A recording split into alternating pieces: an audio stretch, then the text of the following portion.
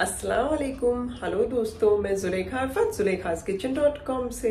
अगर आप मेरे चैनल पर नए हैं तो लाल सब्सक्राइब का बटन दबाएँ उसके बराबर में जो बेल आइकन है, उसे भी क्लिक करें ऑन नोटिफिकेशंस पर।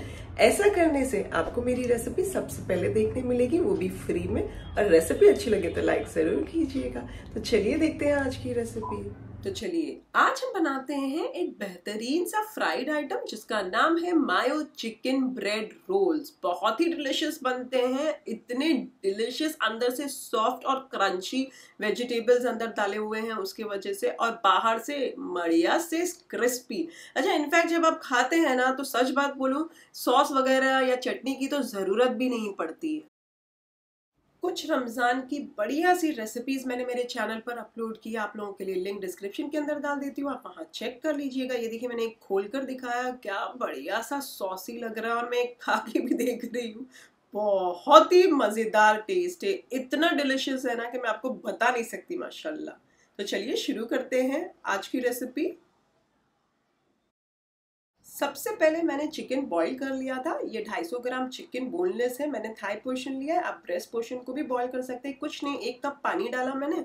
उसके अंदर एक छोटा चाय का चम्मच, अदरक लहसन का पेस्ट डालकर, नमक थोड़ा सा डालकर उसे बॉईल कर लिया। जब अच्छे से चिकन गल गई ना तो मैंने चूल्हा फास्ट आँच पर करके पानी पूरा सुखा लिया था। अब जब ठंडी हो गई तो मैं एक बाउल के अंदर इसे श्रेड करके डाल देती हूँ।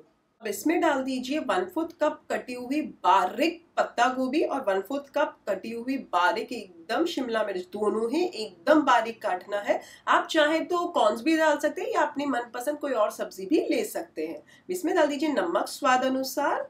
वन फोर्थ छोटा चाय का चम्मच काली मिर्चों का पाउडर, वन फोर्थ छोटा चाय का चम्मच गरम मसाले का पाउडर, वन फोर्थ छोटा चाय का चम्मच चाट मसाला और वन फोर्थ छोटा चाय का चम्मच भुना हुआ और पीसा हुआ जीरा पाउडर।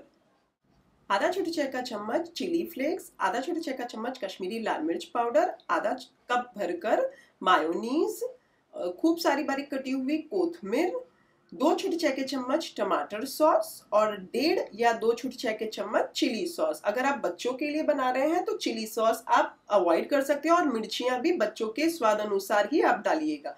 सारी चीज़ों को बहुत अच्छे से मिक्स कर लीजिए। एक फ्रेश ब्रेड का पैकेट लीजिए एक एक करके ये सारे ब्रेड के कट्ठे निकाल दीजिए, चारों कॉर्नर्स जिसे कहते हैं, और साइड पर रख दीजिए। फिर एक ब्रेड लीजिए, इस तरीके से बेलन से आप बेल लीजिए तो चपटा हो जाएगा। वैसे ये जो मैंने सारे कॉर्नर्स काट कर जो साइड पर रखे हैं, इसके जो कट्ठे हैं, आप चाहें तो इसका पीस कर ब्रेड क्रम्स बना लें या कोई सब्ज़ी में डाल दें।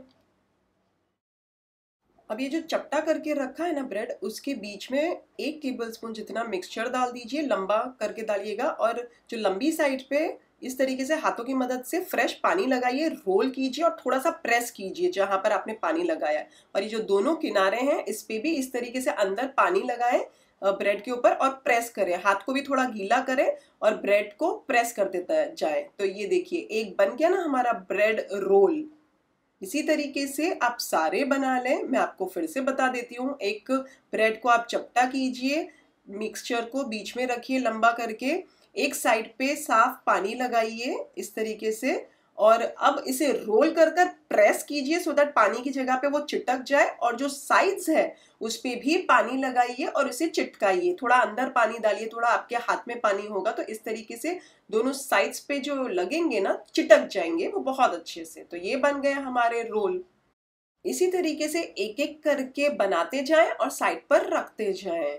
और अगर आपके पास समय हो तो आप फ्रिज में रख दीजिएगा, क्योंकि ये हम जो गीला कर रहे हैं तो थोड़े समय के बाद आप फ्राई करें तो ज़्यादा बेटर रहेगा। तो इस दरमियान फ्रिज में भी रख सकते हैं आप इसे सो so दैट ये जो साइड पर हमने गीला किया है, वो अच्छे से सील हो जाए। अच्छा अब यहाँ मैंने तकरीबन बनाए अठारह, क्योंकि मेरे ब्रेड बहुत छोटे थे, लेकिन आप बड़े बनाओगे और बड़े ब्रेड लोगे तो ज़्यादा बेहतर रहेगा। और दूसरी बात बेस्ट ये रहेगा कि फ्रेश ब्रेड लीजिएगा।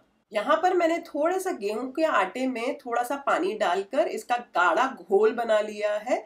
तेल फास्ट आँच पर चालू कर दीजिए अच्छा गर्म हो जाता है तो मीडियम आँच कर दीजिए। वैसे मैं डीप फ्राई कर रही हूँ, आप चाहे तो शैलो फ्राई कर सकते हैं। अब आपने क्या करना है, ये घोल मैंने सिर्फ़ आप लोगों को बताने के लिए किया है, लेकिन मैं इस्तेमाल नहीं करूँगी। आप इस तरीके से भी कर सकते हैं। इसके लिए आपको बता रही हूँ कि जो अगर आपको लगे कि खुले हुए हैं तो इसे इस तरीके से आप आटे की मदद से बंद कर सकते हैं एजेस को, और इसे बिस्मिल्लाहिर्रहमानिर्रहीम बोलकर एक एक करके इसे डालते जाए गरम तेल के अंदर। मीडियम आँच पर फ्राई करें। कुछ ही मिनटों में तो ये फ्राई हो जाएँगे ब्रेड है, जल्दी लाल हो जाएँगे। उलट पलट करते जाए। जब golden brown light golden brown हो जाए तो इन्हें निकाल कर नितार कर टिश्यू पेपर के ऊपर साइड पर रख दीजिए। जब आप आटे की लई लगा के सील करके फ्राई करते हैं ना तो जैसे आप देख सकते हैं, हल्का सा मार्क रह जाता है कि आपने कुछ लगाया है ब्रेड के ऊपर, पर मैं कभी भी आटे की लई नहीं लगाती हूँ। पानी से तो वो बहुत ही अच्छे से सील हो जाता है, ज़रूरत ही नहीं पड़ती आटे की। हल्का हल्का मैं प्रेस कर करके उसे गरम गरम तेल में डाल रही हूँ।